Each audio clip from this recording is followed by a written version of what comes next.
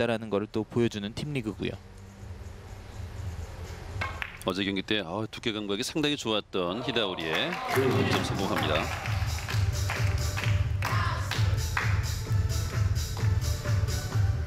지금까지 이 대회 4일차까지 SK 렌터카 2세트를 보면 강지은 선수의 활약보다는 히다오리의 선수의 활약이 좀 많이 크고요. 네, 강지은 선수는 꼭 6세트에서의 엄청난 활약을 하고요. 아, 그렇습니다. 네, 좀 비슷한 패턴으로 흘러가고 있습니다. K더블 방식으로 2세트가 진행되다 보니까 한 선수가 그냥 플레이 잘하면 끝날 수 있죠. 그렇죠.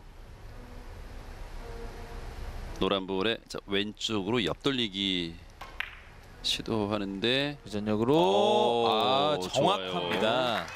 깊게 들어가면서 득점에 성공하는 히다우리의 어, 뒤에 강동 선수가 엄청 놀랐어요. 어, 이거 아, 지금 표정 보세요. 입이 네. 벌어져서 지금 다무너지지 않고 있어요. 저걸 히다 선수가 뭐 치다니 이런 표정인가요? 어, 그런 느낌도 있겠지만 네. 배치 자체가 워낙에 난이도가 있었기에 아 이걸 저렇게 아. 정확하게 쳐라는 생각을 아, 그러니까 히다가 이걸 치다니가 아니라 아, 그렇죠. 이걸 저렇게 치다니 네, 거기에 대한 감탄이었습니다. 다시 한번 옆돌리기. 쓰리 쿠션 혹은 포 쿠션으로 네, 짧게 짧게 진행돼도 득점이 되는데요. 뭐 네, 빠져나갈 틈이 좋습니다. 없습니다. 좋아요.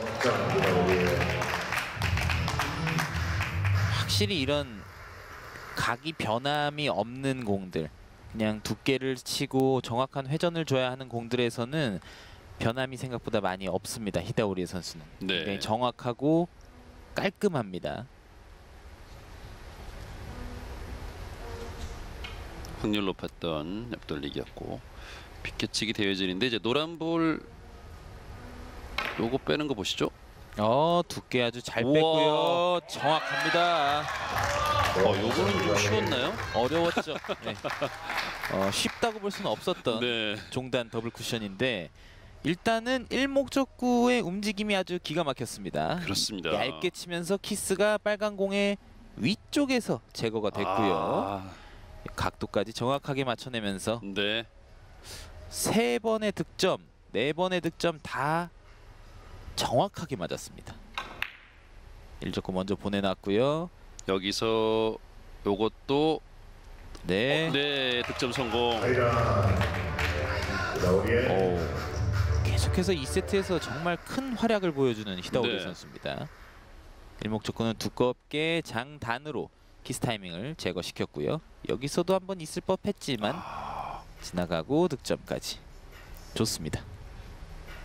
이 이닝인데 자, 히다 선수가 5득점 기록하고 있습니다. 우리가 알던 그 히다의 느낌. 네. 프로당구 이전에 참 히다 오리에 선수 대단한 선수였잖아요. 뭐 사실 뭐 지금도 뭐 living legend라는 표현을 할 정도로 정말 화려한 경력과 엄청난 실력을 소유하고 있죠. 아, 이것도 이렇게 예민하게 이렇게 포쿠션으로 정확합니다. 득점 아. 성공.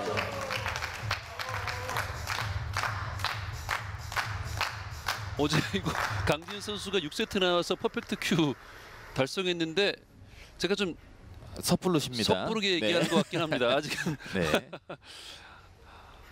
아, 아 브릿지가 이렇게 불편한 상황에서도 이렇게 정확하게 깔끔하게 만들어냈습니다.